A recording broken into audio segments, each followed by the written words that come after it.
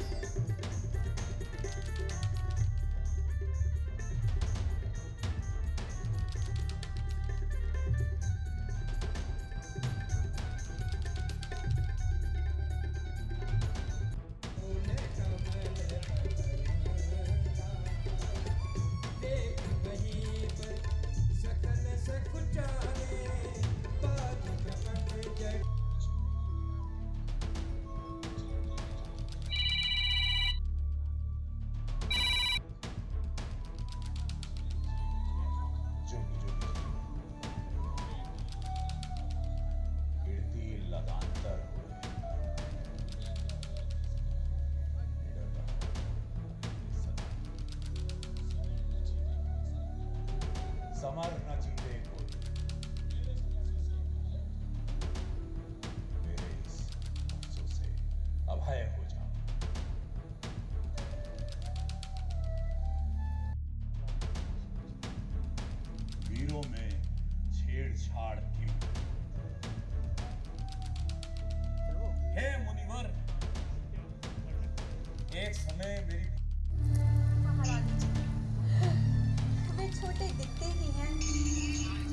परंतु उनका साहस बहुत ही बड़ा है।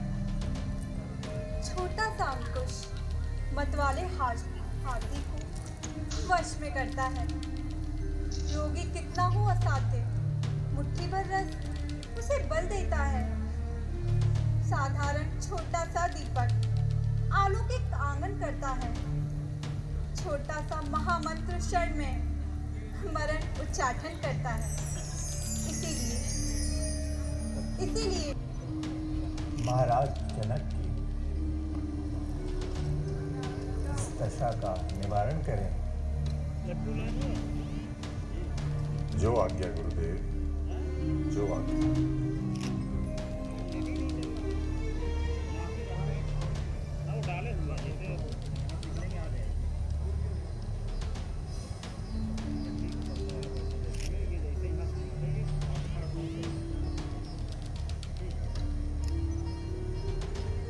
प्रणाम, मन ही मन, तीना राम। गुरु ये प्रणाम। के दिग्गज हे कच्छप शेष, वाला।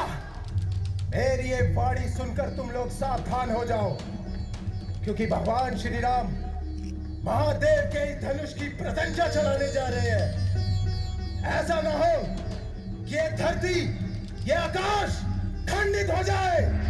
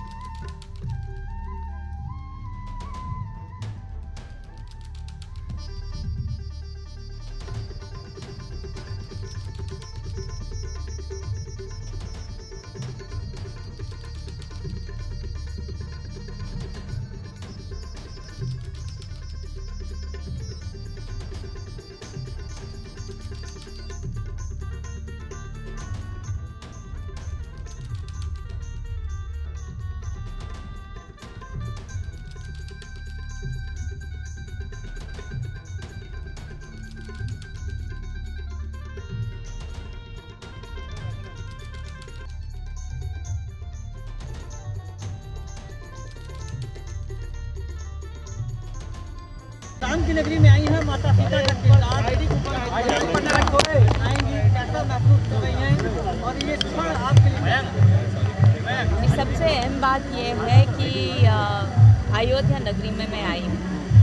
और एक ऐसे टाइम पर आई हूँ जहाँ मैं खुद अपना करियर वापस एक बार से शुरू करना चाहती हूँ। तो इससे अच्छा मौका कहाँ मिलेगा जहाँ स्वयं अयोध्या में आकर राम जी के दर्शन हो और वो मुझे आशीर्वाद दे।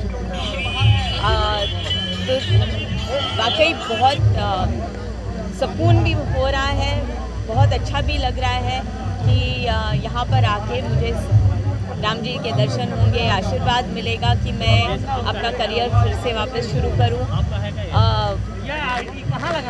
मेरे खुद के पति भी यहाँ पर आए हैं तो अ, एक अच्छा लगता है सब लोग मुझे इनफैक्ट घर पर चिढ़ा रहे थे कि सीता मैया बनने जा रही है, खुद के राम जी को साथ में लेके जा रही है। तो बहुत अच्छा लग रहा है कि हम दोनों यहाँ पर आए हैं इकट्ठा और रामलीला जो यहाँ पर अयोध्या में है, सिर्फ़ अपने देश में ही नहीं, बल्कि जग भर में लोग यहाँ पर इस रामलीला को देखेंगे।